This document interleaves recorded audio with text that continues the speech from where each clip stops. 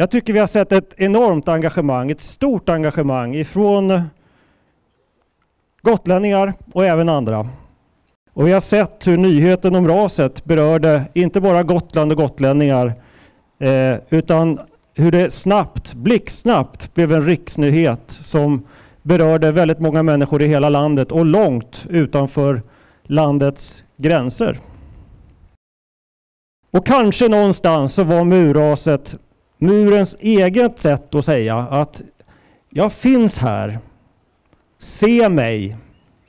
Glöm inte bort mig och ta mig inte för given, för jag har så mycket att berätta om människor som har levt här innan du och jag tillhör alla.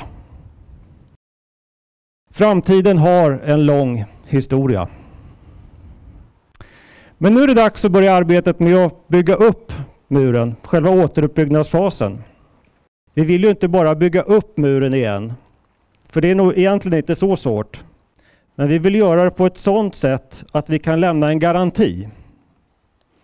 Och när jag säger garanti då kanske man tänker på en sån där garanti man får i elektronikbutiken när man köper en pryl. Ett års garanti eller så. Eller man kanske tänker på den garanti man får på rostskyddet på en ny bil på tio år. Men det är inte den garantin vi tänker på som har varit inblandade i det här projektet. Vi vill ge en 700-årig garanti på den här lagningen. Och där ligger första stenen på plats.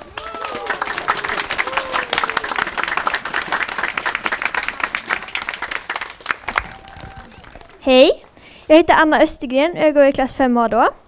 Vi har skrivit meddelanden till framtiden. Vi är väldigt glada för att det var just oss som, det var just vi som fick göra det. Vi har lagt in lite, en innebandyboll till exempel, en mobil, eh, lite från det som vi har nu.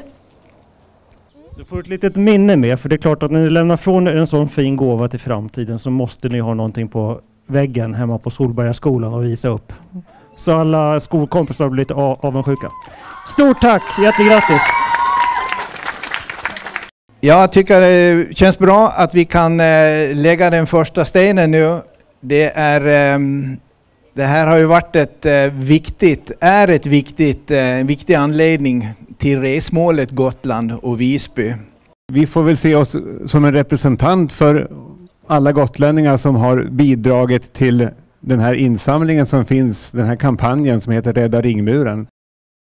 Så att eh, vi vill faktiskt också i och med den här checken som i år är på 20 000 kronor så vill vi även uppmana andra företag att faktiskt hjälpa till för att vi ska kunna få ha den här fantastiska muren kvar framöver i 700 år till åtminstone. Så därför vill jag och, och mina och Riksantikvarieämbetets vägnar tacka alla dem som har varit delaktiga i det här arbetet. Det är många olika parter, men i första hand vill jag tacka Uppsala universitet, Byggnadshyttan på Gotland, eh, Tyrens och Gotlands museum. Och jag vill också tacka Hantverkslaboratoriet Göteborgs universitet, Statens fastighetsverk och Nidarosdomens restaureringsarbeten i Norge. Jag tycker att vi alla eh, ger de inblandade aktörerna en riktigt, riktigt varm applåd.